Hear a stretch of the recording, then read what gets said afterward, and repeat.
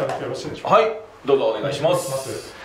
えっ、と NHK の岩田と申します。はいえっ、と統一地方選挙前半の、うんあのまあ集計が終わりまして、はい結果が出てるあの当確が出たところもありますけども、はいまずあの全体の受け止めとして一言、あの斉藤さんの方から教えていただけますでしょうか。そうですねあのどこまでこの統一地方選挙に、えー国民の皆様が興味を持ったのかなっていうところがまあ一番興味があるところですね。あの政治に興味がある人とかっていうのは一部やっぱり面白い戦いがあったりとか、えーいろんな入れ替えがあったりだったりとかっていうのはあったと思いますがあのー若い人たち、まあ、特に我々は若い人たちにどこまで興味を持ってもらったのかな。そういうところにこう突き刺していけるような選挙を、えーしたかったなというところですね。はい。まあ、政党名があの変わってですね、あのはいまあ、いろいろと変動もあった中でですね、この地方選挙をどのように迎えてで後半戦に向けてどう準備をしていきたいというふうにお考えでしょうか？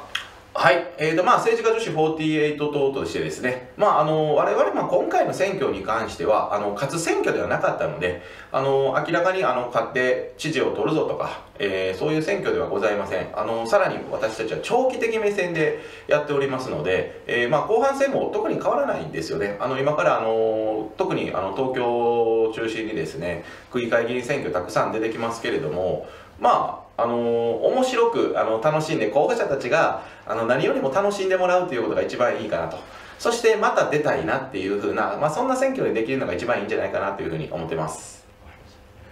あの大阪についてはですね、うん。あの知事選挙の方で政党の方からあの候補者を出されていますけれども、はい。改めて今回あの、まあ、8時の時点ではありますけれどもどのように今の現状を受け止めていらっしゃいますでしょうか？いやでも出れてよかったよね。はい、楽しかった？楽しかったです。ね。あ。のこういうふうに楽しかったって言ってまた出たいというふうにあの出ることがすごく大事なのであのもちろんあの知事とか、えーそういうのが我々はまだできると思っていないので、まあ、そういう意味ででも選挙に出るというところそのハードルはやっぱりこういう若い女性が出てきてくれてですねもう出てくれるだけでももう最高で十分やったなっていう手応えですね。はい。せ政治家女子のその政党から候補者を出すっていう意義についてはどのようにお考えでしょうか？えーとどうでもいごめんなさいあその政治家女子の,、あの政党の中から、うんあの候補者をうん地方選挙で出す意義についてどのようにお考えでしょうか？いやーやっぱりですねあの特に知事選なんていうのはやはり300万円やっぱ供託金かかるので誰でもかんでも出れるわけじゃないと思うんですよね。っていう中でやっぱりもういつも通り似たり寄ったりのこうおじさんとかばっかりが出るよりもやっぱりこうやって20代の女性が党がサポートして出るということに意味があると思ってます。ありがとうございます。はい。えっはい、ですね、共同通信雲と申します。はい。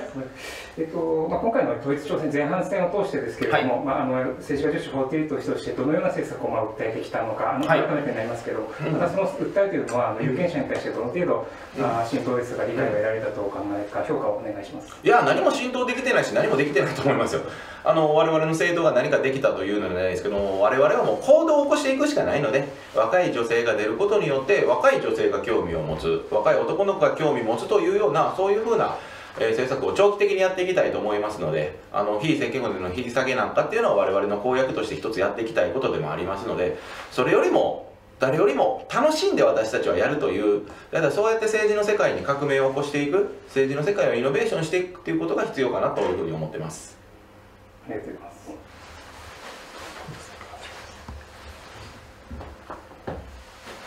久野さん大丈夫ですか。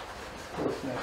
まあ、ごめんなさい、じゃあ、あの長期的な目線で、その、まあ、やることは変わらないという中でですけれども、その後半戦で。こう、特に訴えたいこと、まあ、まだ、あの、まあ、長い目目で見た時の、統制拡大という長い目で見た時の、今回の統一戦後半戦の位置づけ、どう戦うかをお願いできます。いやもうどう戦うかも何ももう候補者たちがもう一人一人楽しんでやるだけですあのうちは本当無理してないのであのたくさんあの政治活動からですね選挙運動をしっかりした人もいればあの全然してない人もいるのでもうそれぞれのスタイルでそれぞれが自由にできるのがこう我々の党の一番いいところですのであの頑張る人は頑張る頑張らない人は頑張らない、えーそれぞれの道筋でもう一回選挙出たいと思うようなですね、えー候補者たちがたくさん増えたらそれが一番いいかなと思ってます。あと、まあ、今のところですけども、全国的にはあの自民党をはじめ政権与党があの数多くの議席を獲得しているんですけれども、はい。まあ、この現状と、まあ、岸田政権の評価というのがあれば。お願います。まあ岸田政権自体やはり、まあ、今になってぐぐぐっとねやはり数字も上がってきましたのであの次の衆議院解散も見据えてまあどういった形になってくるのかなっていうところは一つ注目点ではありますがまあ自民党以外どこもできないでしょ。う